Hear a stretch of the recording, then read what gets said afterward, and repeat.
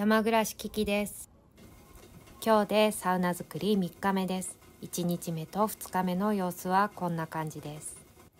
これが1日目の様子です。どこが違うかというと奥の土の部分です。この赤線で囲った部分の土を掘るんですが2日目でここまで掘れました。ユンボは使わず全てお父ちゃんの人力です。その様子をご覧になりたい方はサウナ作り1日目2日目の動画をご覧ください。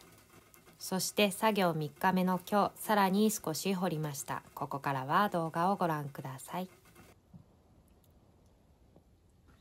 はい一応これぐらい掘れました、まあもうちょっと掘った方がいいのがちょっと床の高さが分からなくてとりあえずこれで。うん、ストップで。大きいしまたな。3つぐらい出てきてるな。うん。あこれが出てきた石です。ああんまり大きい石がなくてよかったね。大きいやん 足。大きい石は一人で足これへんやつやから。ええー、どうぞそうなん、うん。すごいな。で今日はとりあえず柱を一本立てようと思ってうん。これが基準うん基準点、あもうここまで掘ってる。うん、をちょっと掘りたいと思います。まあ掘ってるけど今、うん。はい。ここはほんと硬いから、また石があったら問題うん、このそうそうこのパターンで石が出てくると出されへんよな。無理やねんな。あ。まあでもーなんかそれ怪しないそのだからもうこれでやめようと思って。ああそ立てる時に逆にそこがすごい硬くなってええんか。もう正味立てる時にグラグラせんかったらうん。いいかなって思ってて。これ柱をちょっうん。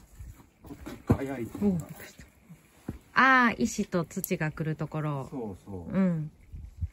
でこの柱自体はま結構前に仕込んでたやつやから、うんもうか結構完全に乾いてる。うんめっちゃ軽いだから。へえじあちょっとほんなら。うん。穴に入れてみようか。うん。と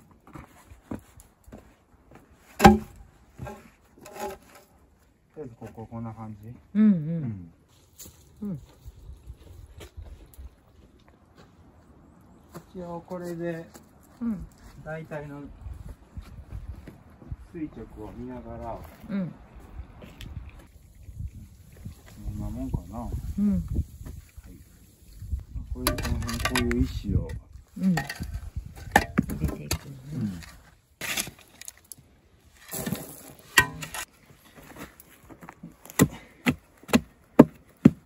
こういう棒で突き固めていきます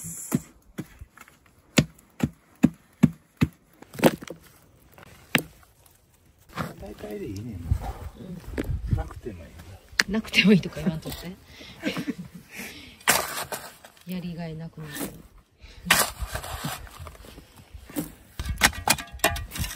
もう踏めるときとこになったら踏んでもいいし。うん。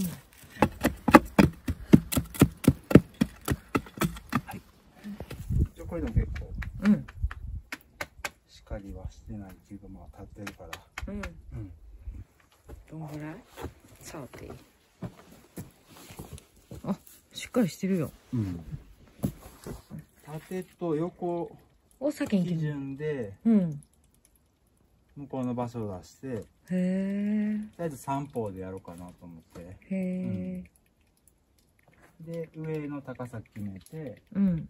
切って乗せる。うん。うん。上に丸太ね。うんうん。鳥居みたいにすんねんなでその中にサッシが入ると。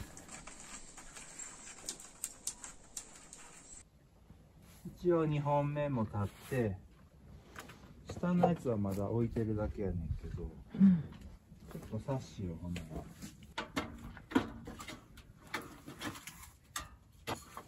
こんな感じ？おおぴったりやな。うん。すごいぴったりやったな。結構ぴったりやな。なあうーん。寒い中お疲れ様でした。霜柱今日一日溶けへんかったもんな。溶けへんな。ずーっと普通な、昼のお日さんで溶けんのにな。うん。今日昼に天気いいのに雪降ってたもんな、これ白いの全部霜柱です